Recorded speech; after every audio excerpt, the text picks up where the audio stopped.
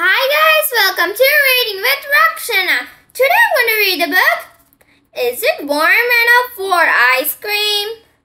by Violet Peto. In fall, mist and clouds blow over the sun. Birds eat berries, mushrooms grow, leaves change color, birds fly to warmer place. Fruit ripens, Squirrels hide nuts.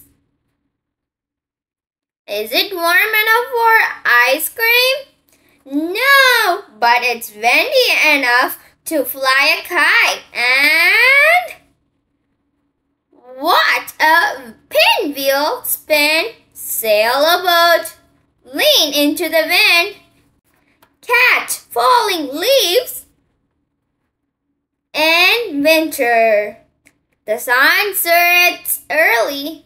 Dripping turns into icicles. Small animals find a warm place to hide. Snow covers the ground. Snow settles on trees. Squirrels find their hidden nuts. Bird nests are empty. Ponds freeze. Deer searching for food. Is it warm enough for ice cream?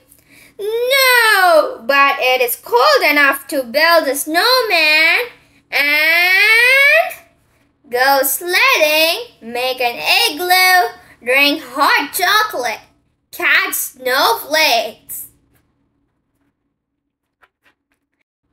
In spring, the sun rises early tree blossoms, the first flowers bloom, chick hatch, crack, rainbow appears, lambs are born, birds return and lay eggs, rabbits play. Is it warm enough for ice cream? No, but it's rainy enough to splash in the puddles. Splish, splash, splosh, splish, splash. And use an umbrella, find worm, plant seeds, make a mud pie. In summer, the sun shines, crops ripen, flower bloom, butterfly flutters by, Baby birds grow, learn to fly, the ocean warms up, bee buzzes, ladybug crawls, and march. Is it warm enough for ice cream? Yes, it is enough for ice cream. And watering flowers eat ice pops, building sandcastles, swimming at the beach. The end. Hope you guys enjoyed the video.